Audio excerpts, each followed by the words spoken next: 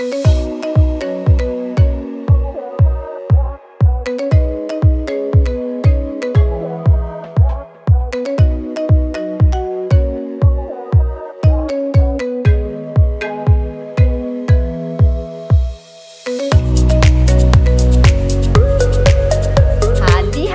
Meine Lieben. Ja, heute kommt mal wieder eine Beilage und wer mir auf Instagram folgt, der weiß genau, was jetzt kommt, denn da habe ich euch auch schon wieder ja den Mund wässrig gemacht von dem leckeren Lauchrahmgemüse. Und zwar habe ich jetzt schon ein bisschen was vorgearbeitet, denn ich habe das gerade schon gemacht und es war so lecker und jetzt mache ich es gleich ein zweites Mal mit Kamera. Und zwar habe ich jetzt schon drei Stangen Lauch in dünne äh, Streifen geschnitten, haben kräftig gewaschen, habe die drei Stangen Lauch in feine Ringe in den Varoma gegeben. Im Mixtopf habe ich 500 Gramm Wasser reingegeben und einen Teelöffel Alleswürzer und habe das Ganze jetzt schon mal 20 Minuten auf Varoma Stufe 1 äh, Weichdampf gegart. Ich schreibe euch aber selbstverständlich unter diesem Filmchen, wie bei allen anderen Filmchen auch, ganz genau das Rezept in Schriftform für euch.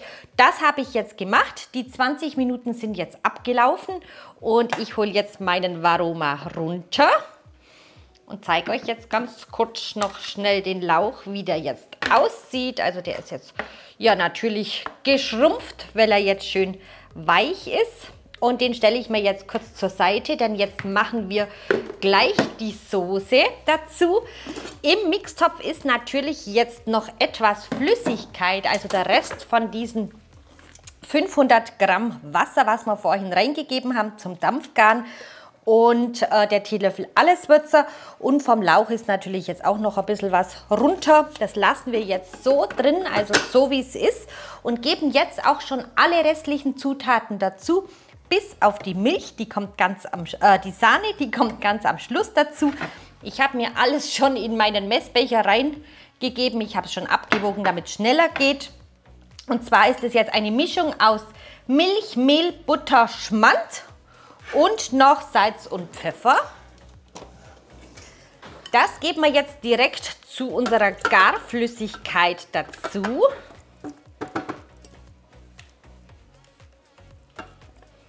Das wird so eine leckere Soße, sage ich euch, aus so wenig Zutaten, aber richtig, richtig lecker. So, das haben wir jetzt drin. So, was dann noch ein bisschen nach oben gewandert ist, schiebt man auch nach unten. Und würzen tue ich das Ganze jetzt einfach nur mit Salz und Pfeffer. Abschmecken tun wir dann nachher ganz am Schluss, wenn es fertig ist. Da kann sein, dass ich noch vielleicht ein bisschen alles Würze dazu gebe und noch mal ein bisschen Salz, Pfeffer. Aber das schmeckt man nachher dann ab. Deckel drauf, Messbecherchen und jetzt wird das Ganze vier Minuten.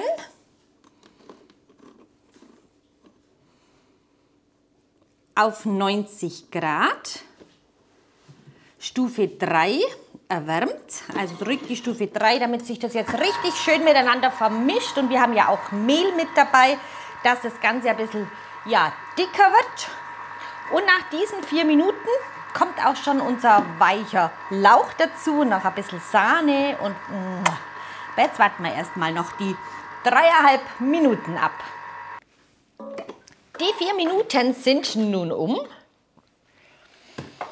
Duften tut schon gut und jetzt Ups, und wie ihr sehen könnt, ist das Ganze auch schon ein bisschen angedickt. Also genau so wollen wir das haben. Und jetzt, ist mir das Ding da weg. Jetzt geben wir unseren vorgegarten Lauch mit dazu. Also drei Stangen.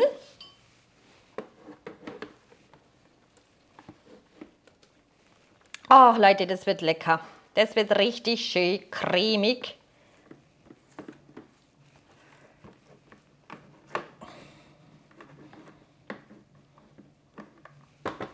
So, das haben wir drin. Da haben wir noch ein bisschen drückt jetzt. Dann drücken wir noch auf die Waage, denn jetzt kommen noch 100 Gramm Sahne dazu.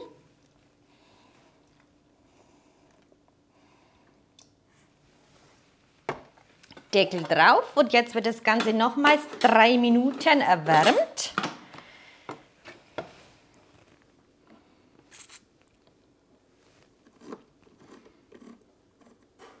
Drei Minuten, nochmal 90 Grad. Ganz wichtig, dass wir jetzt auch den Linkslauf aktivieren.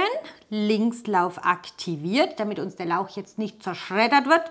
Und jetzt nehmen wir auch nur die Stufe 1, dass es sich jetzt einfach bloß schön miteinander vermischt und schön cremig wird.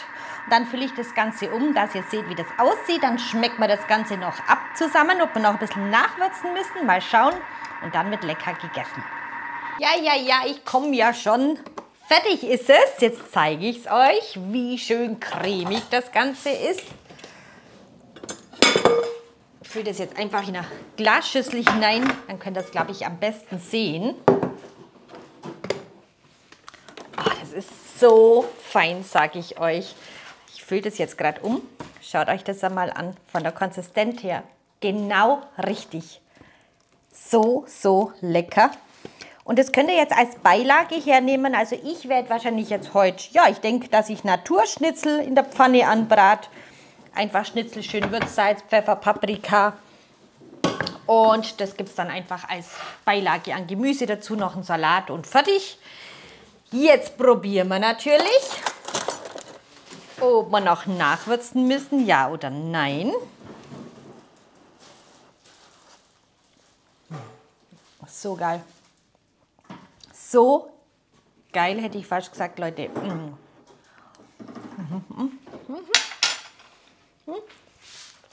Bisschen alles wird ab, bisschen Salz und Pfeffer und dann ist es wirklich meiner Meinung nach und meinem Geschmack nach perfekt. Nachwürzen kann man ja am Tisch selber dann auch noch.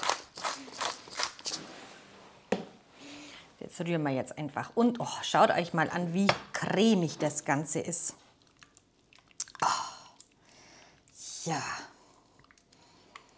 Mmh, herrlich. So, jetzt wird noch mal probiert. Aber ich denke, jetzt wird es passen. Hm.